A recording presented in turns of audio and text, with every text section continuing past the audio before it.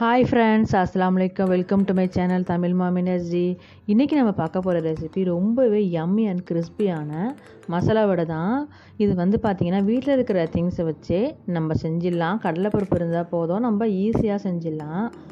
அப்புறம் பார்த்தீங்கன்னா எங்கள் வீட் பக்கத்து வீட்டில் ஒரு நெய்பர் இருக்காங்க சைனீஸ் ஆண்டி இந்த வடை செய்யும் போது அவங்களுக்கு கொடுப்பேன். அவங்களுக்கு ரொம்பவே பிடிக்கும் இது. இப்போ வந்து நம்ம எப்படி செய்யலாம் அப்படிங்கிறத பார்க்கலாம். இந்த வடை பார்த்திங்கன்னா ஈவினிங் ஸ்நாக்ஸுக்கு தான் நான் செய்வேன். கூடவே ஒரு கப் டீயோட செம்மையாக இருக்கும். நான் வந்து ஒரு கப் வந்து கடலப்பருப்பு எடுத்திருக்கேன்.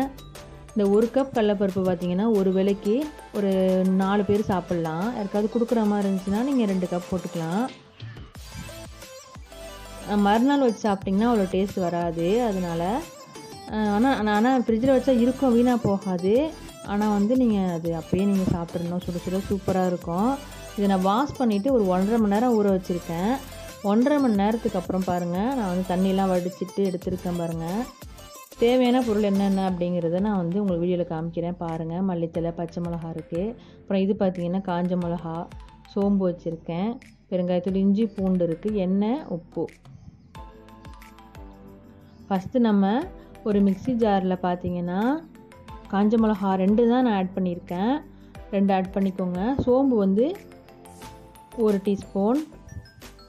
கூடவே இஞ்சி வந்து ரெண்டு துண்டு ஆட் பண்ணுறேன் அப்புறம் வந்து பூண்டு வந்து கொஞ்சம் ஆட் பண்ணிக்கோங்க. ஆட் பண்ணிவிட்டு இதை வந்து ஒரு கோர்ஸ் பண்ணிவிட்டு நீங்கள் தனியாக எடுத்துட்டிங்கன்னா கடையில் கிடைக்கிற மாதிரி வரும். ஆனால் நான் அப்படி செய்யலை. நல்லா அதுக்குள்ளேயே வந்து இந்த கடலைப்பருப்பையும் ஆட் பண்ணி நல்லா வந்து நான் அரைச்சி எடுத்துக்க போகிறேன் பிள்ளைங்களுக்கு கொடுக்குற மாதிரி இருந்துச்சுன்னா மாவு வந்து கொஞ்சம் சாஃப்டாக அரைங்க. ஆனால் ஆக்சுவலாக வந்து இந்த வடைக்கு வந்து குறை குறைன்னு தான் அரைக்கணும். அப்போ தான் வந்து நல்லா முறுமுறுன்னு இருக்கும். இப்போ வடைக்கு வந்து நம்ம மாவு பிசைய ஆரம்பிச்சிடலாம். நான் ஏற்கனவே ஒரு புடி அளவு நான் வந்து கடலைப்பருப்பு வந்து எடுத்து வச்சுருந்தேன். அதை ஆட் பண்ணிக்கிறேன் ஃபஸ்ட்டு கூடவே பச்சை மிளகா ஒன்று அப்புறம் வந்து மல்லித்தலை கொஞ்சம். அப்புறம் கருவேப்பிலை பொடிசாக நறுக்குனது. ஒரு கொத்து நான் ஆட் பண்ணிக்கிறேன்.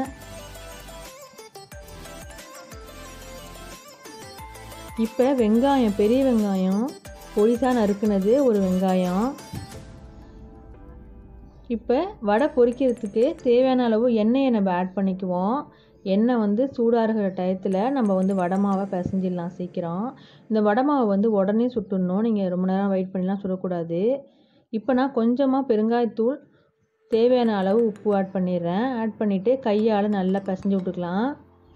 இப்போ வடை மாவு ரெடி ஆகிடுச்சு இந்த வடை மாவை நீங்கள் ஃப்ரிட்ஜெல்லாம் எடுத்து வைக்கக்கூடாது. உடனே சுட்டுடணும். இப்போ நம்ம வடை சுட ஆரம்பிச்சிடலாம்.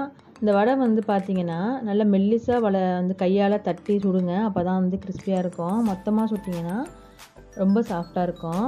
நான் என் பையனுக்காக கொஞ்சம் மொத்தமாக நான் ஃபஸ்ட்டு சுட்டு எடுத்துக்கிறேன். அப்புறம் பார்த்தீங்கன்னா வடை நான் மெல்லிசாக தான் சுட போகிறேன் இப்போ தான் நம்ம சேனலை ஃபஸ்ட் டைம் பார்க்குறீங்க அப்படின்னா மறக்காமல் சப்ஸ்கிரைப் பண்ணிக்கோங்க ஃப்ரெண்ட்ஸ் நான் கண்டிப்பாக சப்ஸ்கிரைப் பண்ணுவேன்.